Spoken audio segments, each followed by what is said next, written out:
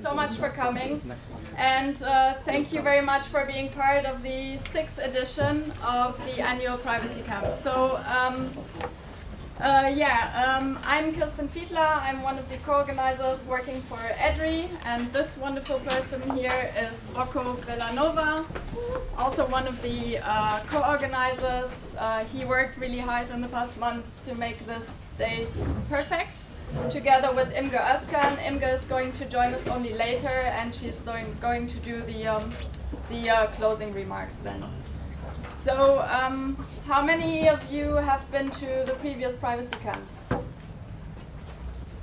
Okay, quite quite a few, yeah. So, um, for those who are here for the very first time, I'm just going to give you a super brief overview of uh, the day. Um, as every year, we are going to have two work streams that are running in parallel. So in this room here, uh, we are going to have the uh, big data session starting in a couple of minutes. And in the other room just opposite, there's going to be a session on owning the web together. You will find the program on the website, privacycamp.eu, and also uh, like on the walls all over the place here. Um, so yeah, so this is everything I have to say for now. Thank you so much for coming again. Uh, I hope you have fruitful discussions and enjoy the day. Thank you very much, Kirsten. Thank you very much, Adrian. Thank you very much, VUB and uh, Privacy Salon for uh, putting this together. I'm also speaking on behalf not only of the University of Amsterdam, but the Institute for European Studies of St. Louis, who is hosting us. And uh, thank you for being so many new faces too. Uh, I'm very happy to see so many friends and uh, people that have started with us uh, six, seven years ago, I don't remember. And uh, happy that it's getting bigger and bigger. Some practical remarks. I know that you're all looking for internet network. Uh, for the moment, you only have EduRoam. After the coffee break, we hope to bring in another free open network. So those of you that can connect to EduRoam, just connect with that.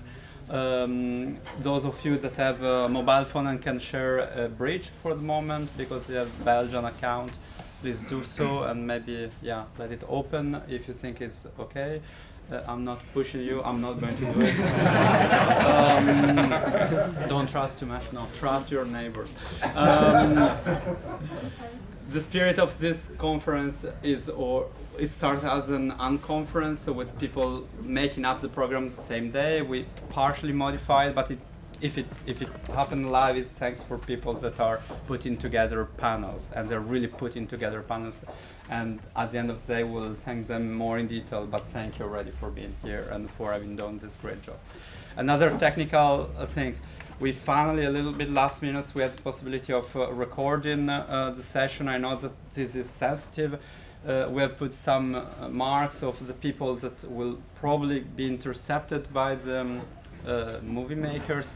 Um, if you have any problem, try to stay on the opposite side. Uh, if as speakers you prefer not to be recorded, just tell us. Uh, the two people there are our cameraman and, and video responsible. If you have any doubt, question, go to them or go to me and we'll find the best solution. Do not feel in, intimidated. The main goal is uh, is for you to be able to speak. We prefer not to have the video than you to shut up because of the video. Okay, so please, very open. Finally, the idea is that really is your conference and that you have to reclaim the conference during the day. We'll try to be strict on timekeeping, and if we are not, claim the space, intervene, and we'll try to ensure that there is enough space for discussion and debate uh, for each panel.